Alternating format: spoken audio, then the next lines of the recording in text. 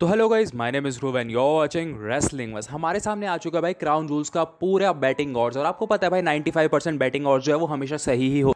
इसका मतलब आपको ऑलमोस्ट सारे रिजल्ट्स पता चलने वाले आप वीडियो को एंड तक देखते रहना। प्लस डब्ल्यू e के पास अभी सबसे बड़ा रोस्टर है, सबसे बूढ़े सुपरस्टार्स का। मैं मज़ाक नहीं कर रहा, मैं आपको पूरी लिस्ट बताने वाला हूँ। हम चलते अपनी वीडियो की तरफ़। सबसे पहले बात करते हैं बेसिकली गोल्ड बर्ग के बारे में। हम सबको पता है भाई समर स्लैम के पेपर व्यू में उनके नी पे कुछ इंजरी हो गई थी और उस वजह से बेसिकली उस मैच को भी एंड करना पड़ गया था।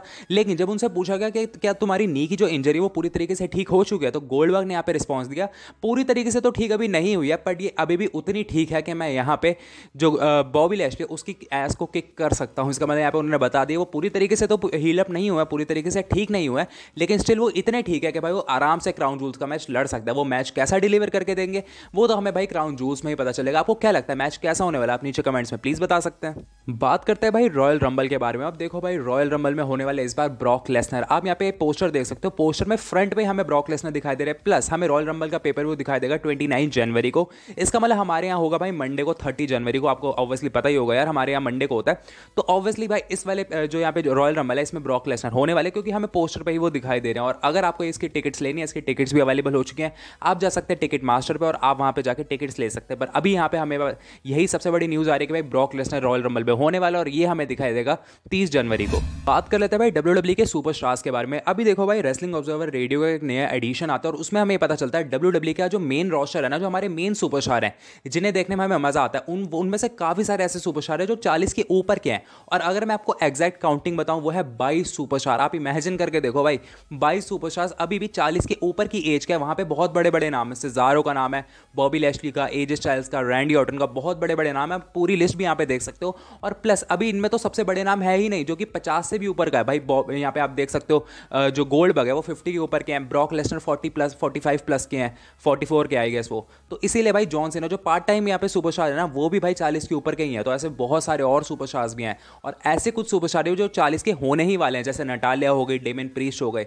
तो इसीलिए डब्ल्यू डब्ल्यू इस बारे में बहुत ज़्यादा अवेयर है। ऐसे रेसलिंग ऑब्जर्वर रेडियो में हमें पता चला कि डब्ल्यू डब्ल्यू कोशिश यही करेगा भाई एनएक्सटी टू पॉइंट ओ का यहाँ पे मतलब मेन मोटिव ये था कि ऐसे और नए टैलेंट्स को लाया जाए जो ट्वेंटीज़ में अपने, ताकि यंग यंग सुपरस्टार आ सके और हमें बढ़िया एंटरटेन कर सके। भाई डब्ल्यू डब्ल्यू किस तरीके से इस चीज़ को इंप्लीमेंट करता है, वो देखने लायक होगा भाई। क्योंकि भाई हमें भी ऐसा फील होता है कि भाई कुछ यहाँ पे मतलब यार परफॉर्मेंस पे तो फ़र्क पड़ जाता है, जब तुम्हारी एज ज़्यादा हो जाती है। बात कर लेते हैं भाई सुपर साइज़ स्मैकडाउन के बारे में। आप देखो भाई, आपको पता है सुपर साइज़ का मतलब क्या हुआ भाई? दो घंटे या ढाई घंटे का हमें शो दिखने वाला है और उसके लिए बहुत बड़ी बड़ी चीज़ें भी एडवर्टाइज है भाई। ब्रॉक लेसनर हमें दिखने वाला है और ब्रॉक लेसनर और रोमनेस का फेस ऑफ़ होने वाला है।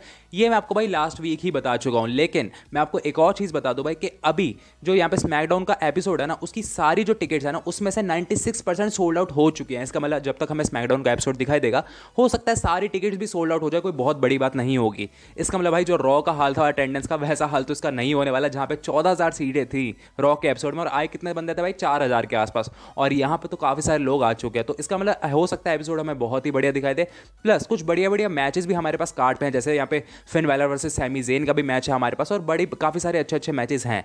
तो हो सकता है शो बहुत ही बढ़िया जाए, लेकिन हाँ अभी के लिए हम एक्सपेक्ट कर सकते हैं ब्रॉक लेसनर और रोमन रेस का एक फेस ऑफ़ होने वाला है, तगड़ा तगड़ा वाला फेस ऑफ़ जो कि ऑब्वियसली यार क्राउन जूल्स का गो होम एडिशन भी होने वाला है। बात करते हैं भाई दिसंबर के पेपर व्यू के बारे में। मैं आपको बता दूँ भाई दिसंबर में इस बार डब्ल्यू e का कोई भी पेपर व्यू नहीं होने वाला और इसकी वजह यही है कि भाई, आपको पता है, मैंने मैंने आपको बहुत टाइम पहले बता देता कि जनवरी वन को मतलब नए साल के दिन डे वन नाम से एक नया पेपर व्यू आने वाला है डब्ल्यू डब्ल्यू का और इसीलिए डब्ल्यू डब्ल्यू चाहता है कि दिसंबर में कोई पेपर व्यू ना हो, ताकि यार ज़्यादा ही ऐसे मैचेस बड़े बड़े ना एडवर्टाइज करने पड़े और एक ढंग का पेपर व्यू डे वन को हम हमें दिख सके तो इसका मतलब भाई दिसंबर को पे, कोई पेपर व्यू नहीं होगा। ऑब्वियसली हमें नवंबर में दिखाई देगा भाई सर्वाइवर सीरीज़ और उसके बाद डायरेक्ट हमें जाके जनवरी में दिखाई देगा। पहला डे वन का जो पेपर व्यू होगा वो और उसके बाद ट्वेंटी जनवरी को दिखाई देगा रॉयल रंबल तो ये एक छोटी सी अपडेट आई थी जो मुझे लगा आपको बता देनी चाहिए। बात करते हैं भाई हमारी मेन इवेंट स्टोरी के बारे में। भाई सारे हमारे सामने बैटिंग ऑर्ड्स आ चुके हैं पूरे क्राउन जूल्स के बारे में और सबसे ज़्यादा जो हमारे सामने चीज़ें आई है ना भाई वो आई है भाई हमारे जो मेन इवेंट वाले मैचेस हैं।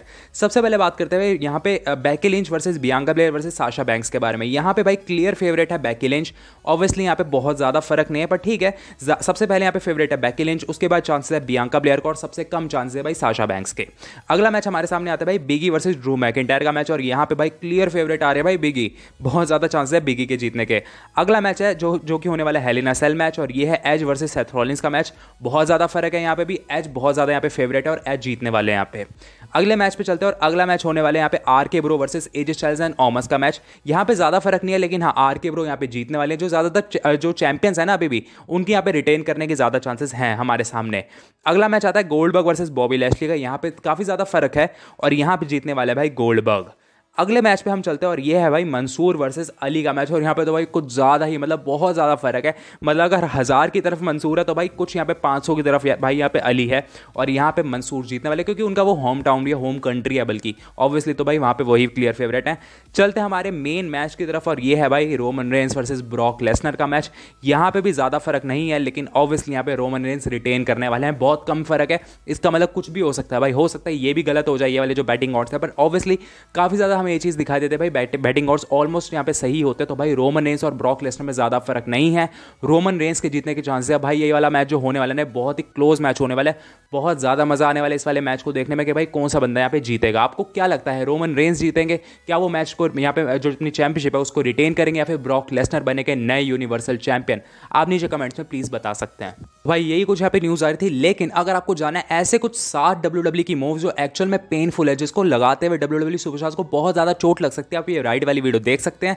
प्लस अगर आपको जानना कल के सुपर साइज़ स्मैकडाउन में, पूरा जो यहाँ पे मैच कार्ड है कौन कौन से मैचेस होने वाले क्या क्या चीज़ें होने वाले, आप ये लेफ़्ट वाली वीडियो देख सकते हैं। तो भाई लोग, अगर आपको वीडियो चलेगी तो प्लीज़ वीडियो को आप लाइक करना चैनल पर पहली बार तो प्लीज़ सब्सक्राइब कर देना यार। मिलेंगे भाई लोग नई वीडियो में, तब तक के लिए बाय